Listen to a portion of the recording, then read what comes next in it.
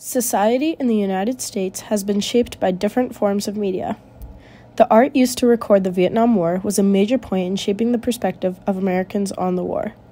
The photography allowed a lot to be open for interpretation, and American society was able to shape their opinions on the war from the comfort of their living rooms.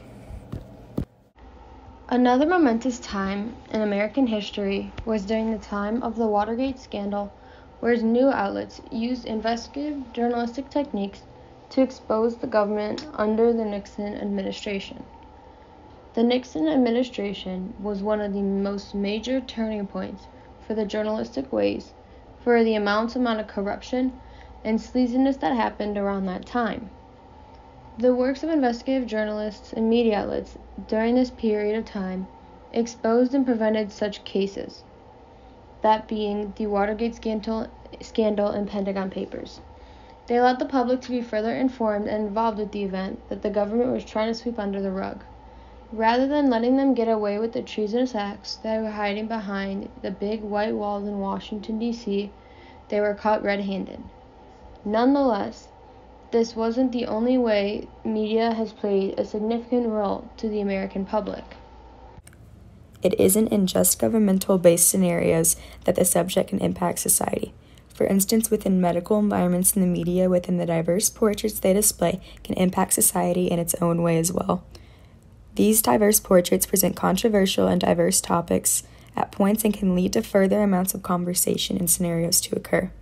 Because of such examples, these art forms and those of Vietnam War photography and investigative journalism all have their own individual impact on society during the time, some of those leaving the public with a heavier impact. The Vietnam War was an integral part of shaping how American society, at the time and even today, looks at war. Prior to the Vietnam War, the United States had always come out of wars victorious. There were never losses or huge questions surrounding why we, as a country, may have partaken in a war. Vietnam, however, was different in that the United States did not win and continuously took losses throughout the war. The way that society took in the Vietnam War is another way in which the war was so exceptionally different from prior wars that the United States had fought in. The fighting, battles, and essentially every portion of the Vietnam War was projected back home to the American public, the photographs that were taken during the war were simply projected stateside for the American public and other parts of the world. This was the first time that the public was able to interpret a war without simply being told the information in newspapers or over the radio. Americans were able to sit on their couches where they watched men die for their country. Unfortunately, because the Vietnam War was such a quote unquote failure, society saw this war as just that. Society took in the soldiers and what they were fighting for harshly. Americans back home determined that war was unnecessary and a waste of American lives. The United States was not fighting for the United States in the Vietnam War, and every life lost to the public was interpreted as wasteful, resulting in anti war demonstrations and a new look on war for the American people and society. The photographs of the Vietnam War were integral for how society interpreted the war and future wars to come. Looking back at photographs of the war, it is clear to see just how impactful they would have been. Another governmental issue that occurred when the Vietnam War was nearing its end was that of the Watergate scandal. This was an act by the U.S. government in which illegal activities were occurring and exposed through media outlets just a year after the Pentagon Papers scenario. By using investigative journalism techniques in media outlets, the information was released to the public, informing them upon the illegal activities that they were occurring in the hands of the higher ups. There was a battle between the journalists and government once again in what was the right thing to do in the situation and as to what had actually happened. In Embodying Deep Throat, Mark Felt and the Collective Memory of Watergate, by Matt Carlson, the entirety of the trial was discussed, in addition to the roles the media and journalists had within the scandal. The emphasis on the role of the journalists at the time was highlighted greatly, for they were benefiting the general public once again. Just as they had done so in releasing the Pentagon Papers and exposing such treasonous acts, the news outlets were nothing short of serving their duties to the citizens of the United States.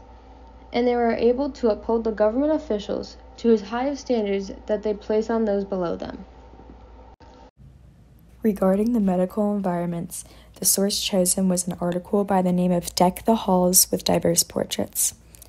This article explains that people have noticed in medical or healthcare environments that the walls are lined with oil portraits of white gentlemen wearing compassionate expressions and dignified robes or white coats.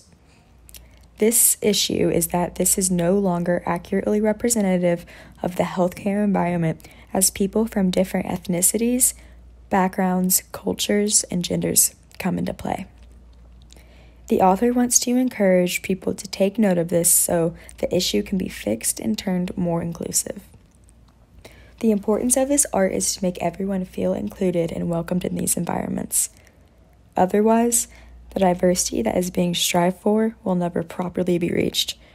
The lack of recognition of diverse workers could go on to affect even the diverse patients. It is possible that they could feel uncomfortable in places where there are only white males being shown off or represented. The article talks about a contest that was created in 2017 called hashtag Walls Do Talk that encouraged medical students to take in these walls and design newer ones more toward diversity and inclusion. They did not want to take away from the existing art that was hung up as a way to diminish those people's accomplishments, but instead they wanted to add to it. The two winning pieces reflected first a group of mostly females, and the second, a Hispanic female.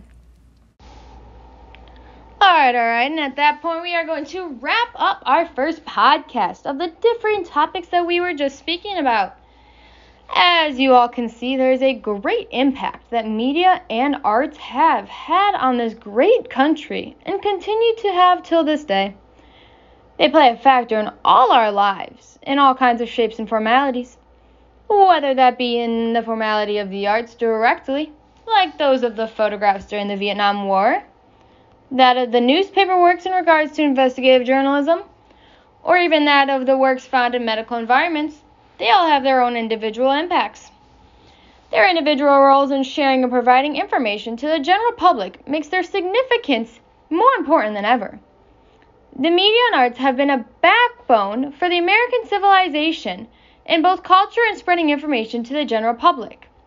And there are great deals of conversation that come out of the forms of art, especially those that are discussed within the podcast episode. Once again, we're going to be wrapping up this podcast for all today, and thank you for listening, and have a safe rest of your days, ladies and gentlemen.